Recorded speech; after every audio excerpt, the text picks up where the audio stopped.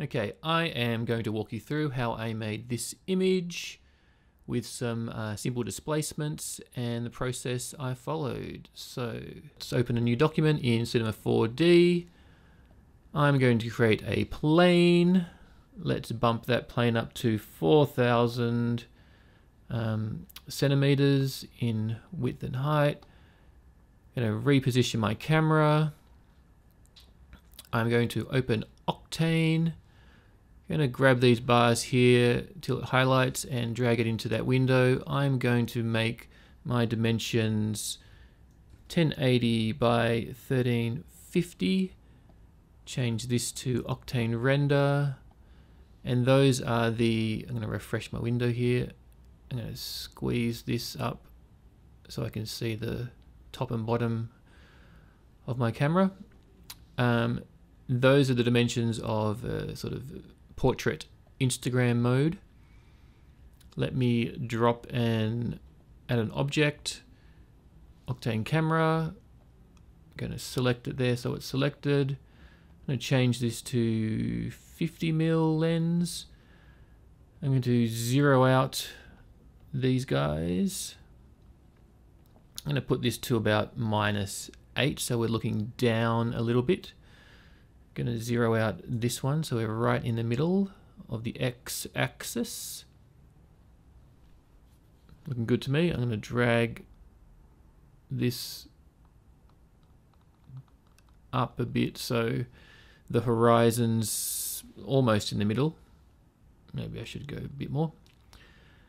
Um, and let's add some let's add a sphere. Let's add a cylinder and a cube.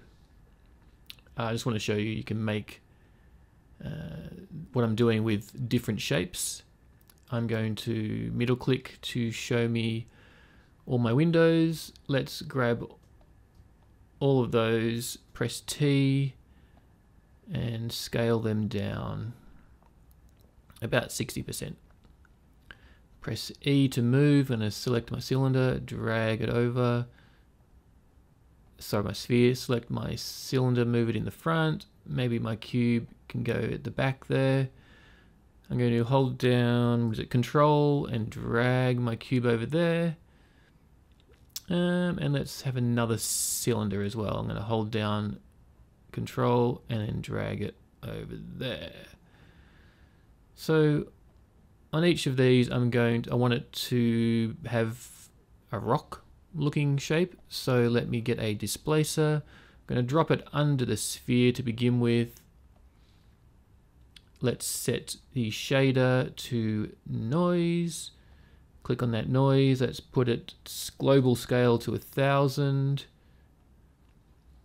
And so we can have that have an effect. Let's put this segments to 50.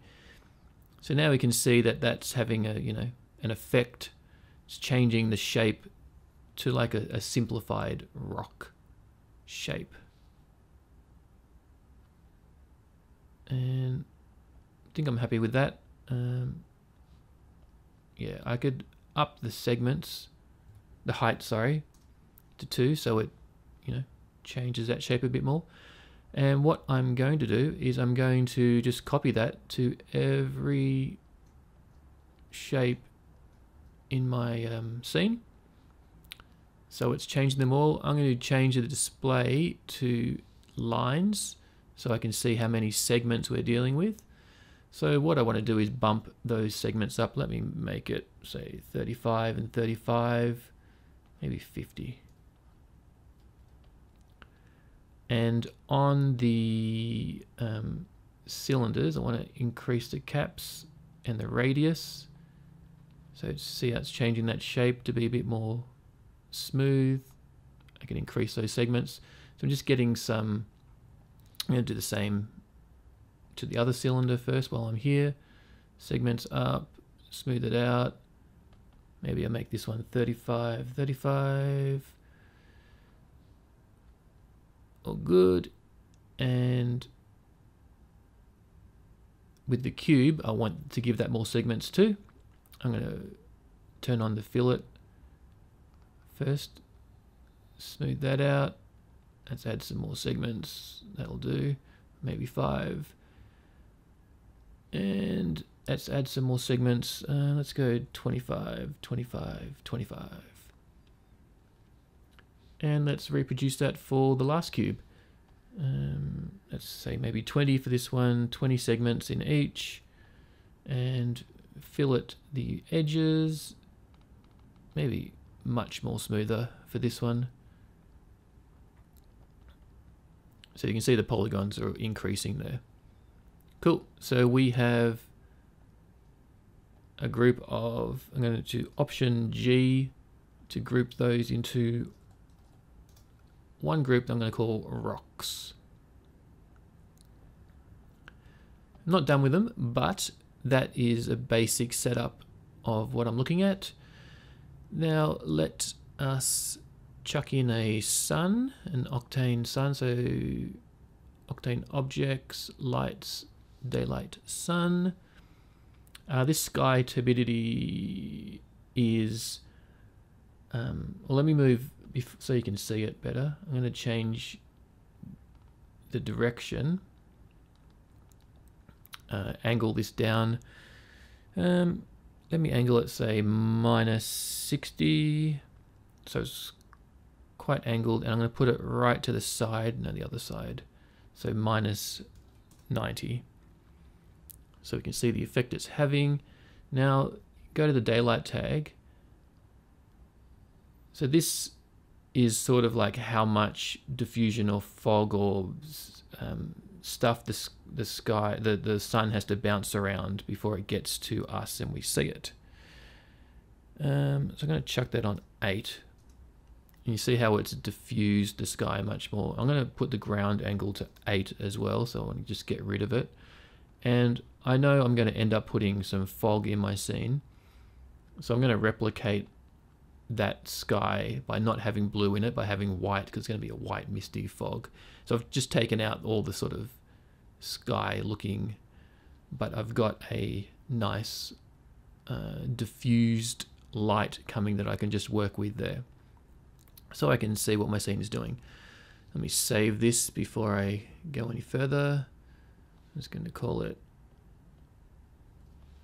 Five Rocks OB, O1B. Um, okay, so now what I'm going to do is I've got a basic scene happening. I'm going to texture this and the way I'm going to get my texture is I'm going to use um, just found things on the internet. So I just searched rock textures people might not think of. I saw this one first. It's free high resolution rock textures. Great, that's what I want. That ended me up at here and I found this rock texture. I just, um, I copied this to the desktop, a new folder in my desktop. I copied it there. And then I have this free PC software called Materialize. So go to here and this link and download that. And so I'm in Materialize now. So let me close that window down.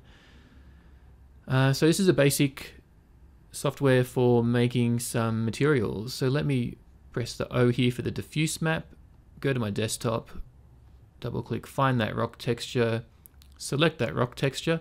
Uh, right mouse, you can um, move that around so you can see what it looks like. I'm going to edit that diffuse map. You see the reveal slider shows you the original and what you're changing it to. So this is my diffuse map and I'm going to try and just give it a flat color of gray or whitish gray and get rid of these dark elements. So I'm going to go to shadow mask power, remove shadow. See how it's just now getting rid of uh, those dark areas. Um, and final bias, I'm going to move that bias towards the light area. So it's not so gray. And that's all I'm going to do. I'm going to set that as diffuse. I'm going to create my height map. And I'm going to click original diffuse. So I'm using the original um, image that we brought in. And I'm going to press, this is the default. I'm going to use details. I want a few more details in there and set that as the height map. So now if we go show full material, um, we can see we've got some height and edges to that happening from our texture. So if I go save project, desktop, that new folder, call it uh, Rocky, whatever. Um, select that.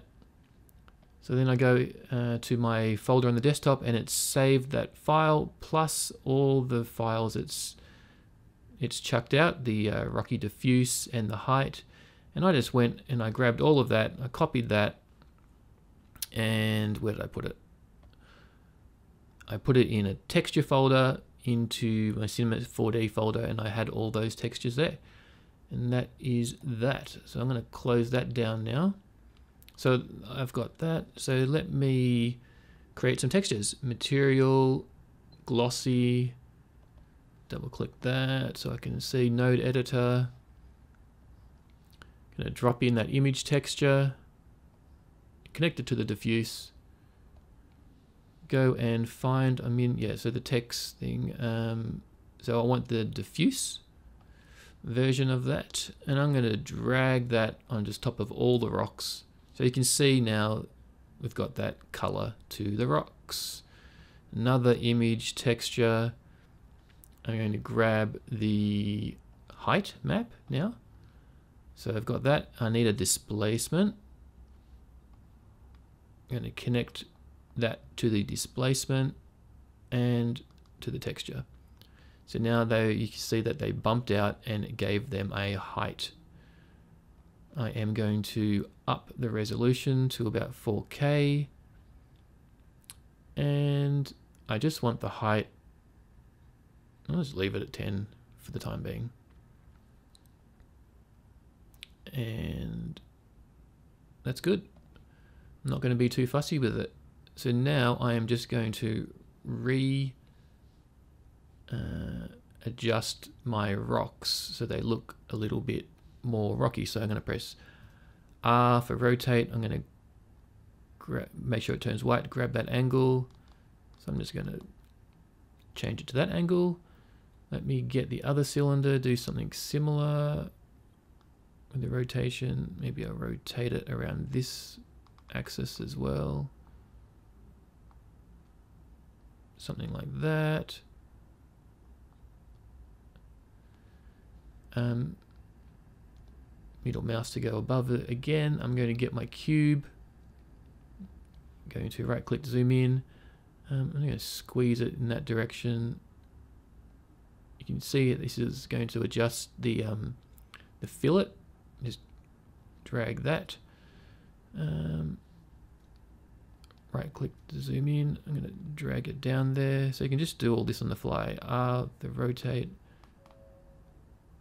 Maybe this dude is a bit more there. I'm going to press W for the turn that flicks the global um, position rotation scales around. I'm just basing my rock. Um, and what I'm going to do is do the um, zoom out again. Where's this last guy? There he is. Do something similar to him, squeeze him, rotate. Um, maybe I'll smooth this one right out. It's a bit more angled. Now I'm going to position these two guys much further back select him and just press that to um, fake a perspective so that they're a bit further back. Um, this one.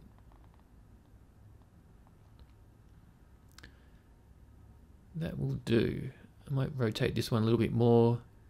And you just just spend some time playing around with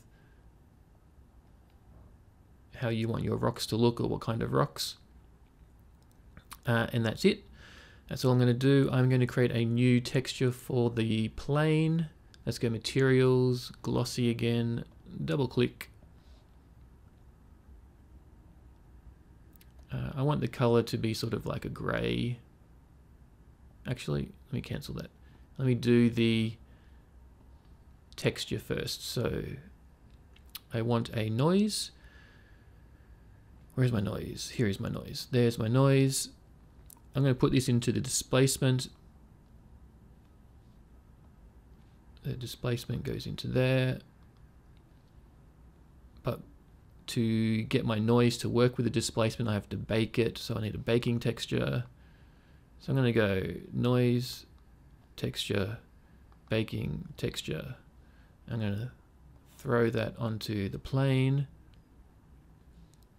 Um, just so I can see it, I'm going to I'm going to make the height really small, but I'm going to put the level of detail to 4K. Um, so I can see it's working. It's very subtle. I just bumped up the height to 2K just so I could see something happening. And I just temporarily drop down this sun. Uh, whoops. The angle is really high. I'll just leave that. um, so I'm going to put these octaves up. So I'm just going to simulate um, a bit of a, a, water texture, but I just want it to be really subtle. So you see, you see ripples in the in the water, um, and some reflection. That's all I'm after. That's all I want to happen. Um, I'm going to put this resolution up to 4000 so it matches my displacement. So it's quite high now. So I'm going to take the height right down, mm, something like maybe two centimeters. It's you know so it's it's very very subtle, and that's all I am after. Sweet.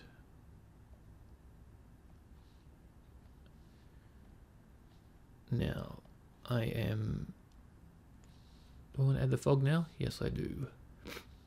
Um, so let me just click this F for focus. I'm going to focus on this first rock. You see how the camera then pivots to there. Turn that off. I've been on um, I've been on direct lighting, which is nice and quick. But I'm going to change it to path tracing now. Let's make these samples just 512 and 4 turn that off.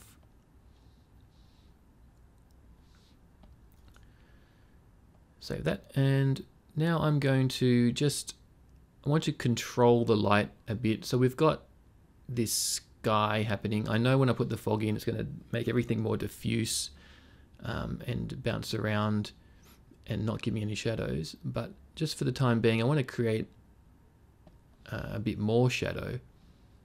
So I'm going to put a big blocking uh, cube behind my camera so no light is coming from that angle.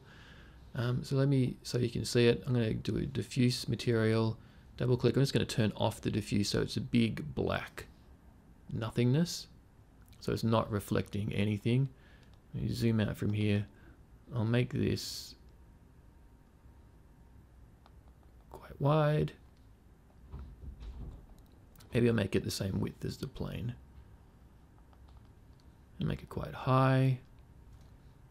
Drag it back behind the camera.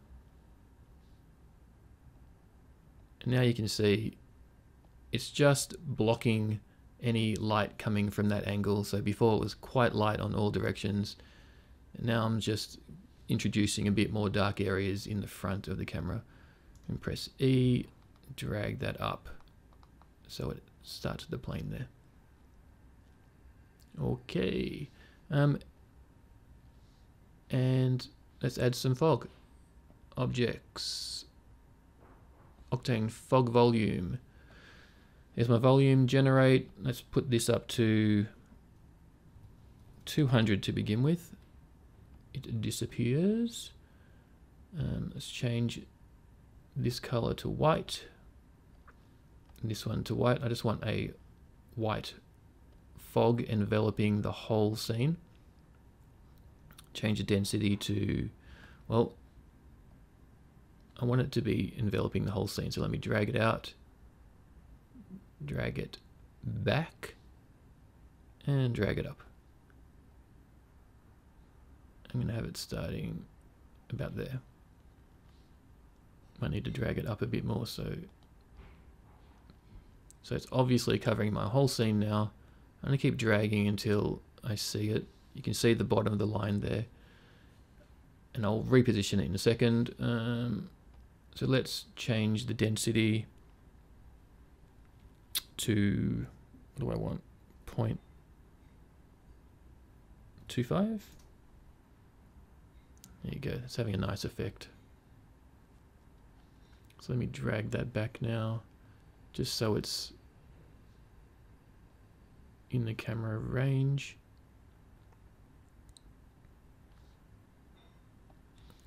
Now if you go to edge feather, I'm going to bump that up to 1. That will feather off the edges, like it says on the tin.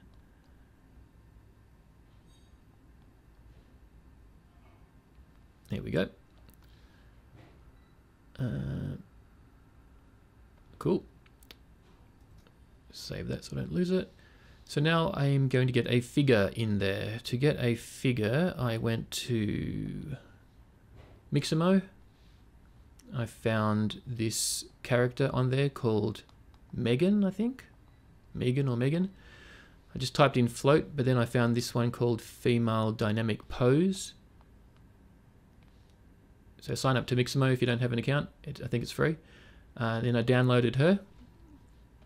I put that in a folder uh, just called FBX and she she looks like that FBX file so let me go find that now so merge project FBX pose open okay uh, no to having takes so there she is I'm gonna grab all of her parts um, option G. Before I go any further as well, I'm going to grab the two materials that she came in with. I am going to convert materials to octane friendly materials. Takes a second, done. Um, and then I'm with the group I did, I'm going to call her um, person. And I'm going to zoom in. I'm going to drag her so she's somewhat centered. E to move. I'm going to drag her all the way up there. R to rotate and rotate on that axis there. So something like that. I rotate around a bit more so I can see the top of her.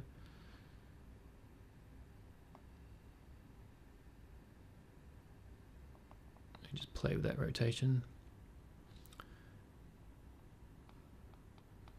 To get something that you're happy with.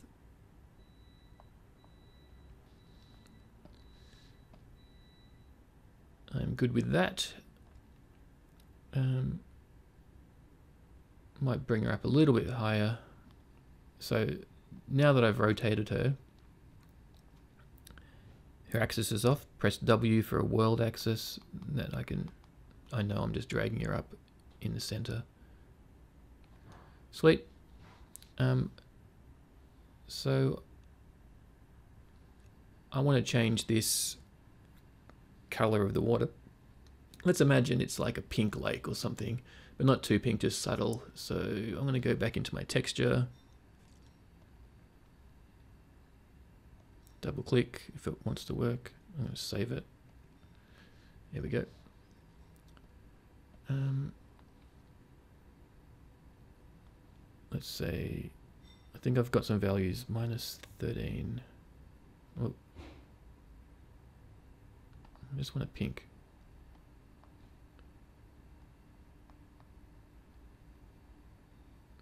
So let's say 13, 18-ish, not so bright maybe like 80. So really subtle pink.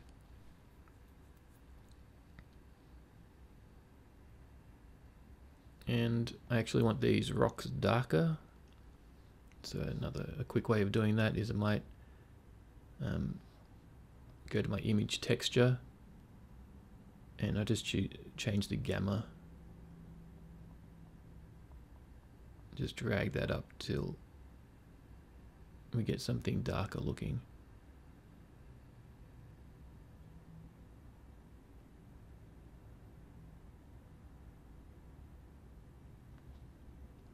Yeah, so you just play around with the, um, you know, the positions of your rocks and how you want them until you get something you like. Um, these rocks are looking a little bit too similar for me, so I'm just going to select one and then maybe um, just change the direction of it or something.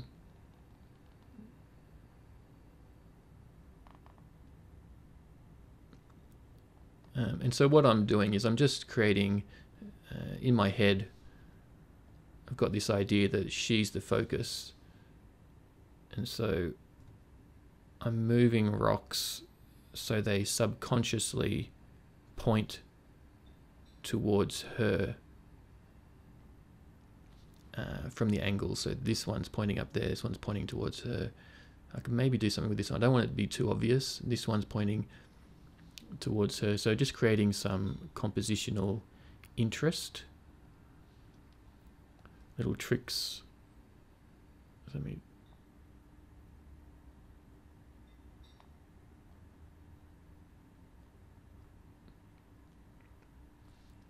Okay.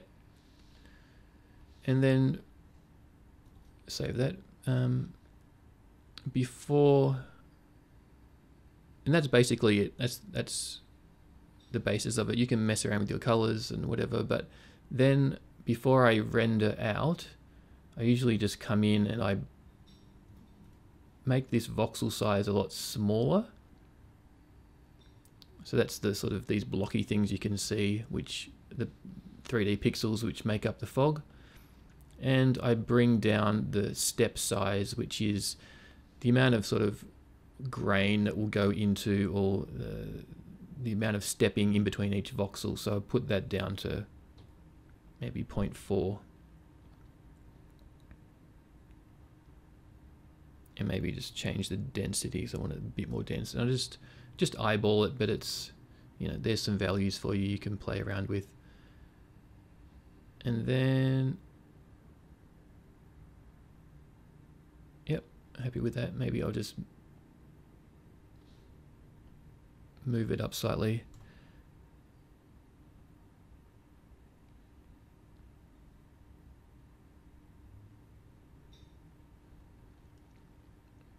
Maybe I want to bring a bit more of that ripple in, so I'm just making the final tweaks here before I uh, render it out, displacement. And as you move that fog uh, to sort of render quality, I can feel my machine slowing down already as well. Um, come on. So let's just say three. I'm just going to turn off that volume just for a second so I can get my computer back. Uh, and then also, I can see a couple of hot pixels. So there is a hot pixel setting. Yeah, here it is. So just move that down. So it just gets rid of those white dots. Um, and that is it. I am just about to render. Um, I just want to make the gamma of this a bit higher. I want these rocks much darker. I just really want a minimal scene, just shades of dark and light. Bam, fog back on. She is ascending to the sky. Let's render. And anytime after I finish rendering, I always bring it into Photoshop and I adjust some levels and curves and the color uh, adjustment to finish it off. That's it. Hope uh, you um, got some value out of that, guys. Hope you learnt something, and I will see you next time. Thanks. Bye.